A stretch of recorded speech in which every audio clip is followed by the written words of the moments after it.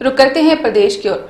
पूरे देश के साथ साथ हिमाचल प्रदेश में पुलवामा में हुए शहीदों को जहाँ पर श्रद्धांजलि दी गई, वहीं जिला बिलासपुर में भी हिंदू जागरण मंच के द्वारा आतंकवाद का पुतला तथा पाकिस्तान का झंडा फूंका गया। इसके अलावा हिंदू जागरण मंच के द्वारा शहीद स्मारक पर दीप प्रज्वलित कर शहीदों को श्रद्धांजलि दी गई।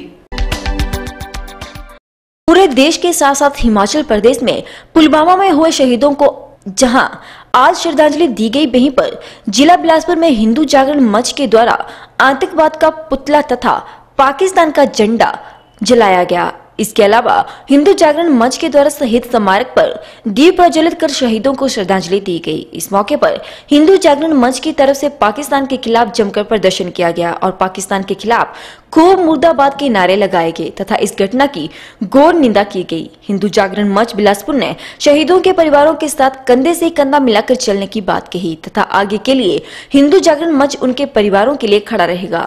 आज हिंदू जागरण मंच जिला बिलासपुर पूरे जिला भर में अनेक स्थानों पर पुलवामा हमले की बरसी के अवसर पर विरोध स्वरूप पुतला दहन का कार्यक्रम कर रहा है। पूरे जिला में अनेक स्थानों पर हिंदू जागरण मंच के कार्यकर्ताओं ने सुबह से लेकर पाकिस्तान का पुतला दहन किया, आतंकवाद का पुतला दहन किया और अनेक स्थानों पर पाकिस्तान के झंडे जलाए गए। हिंदू जागरण मंच आज शाम को शहीद स्मारक बिलासपुर पर अपने शहीद जवानों को याद करते हुए, उनके वीर बलिदान को याद करते हुए, उनके सम्मान में उनको श्रद्धांजलि देते हुए दीप प्रज्वलन का कार्यक्रम कर, करने जा रहा है।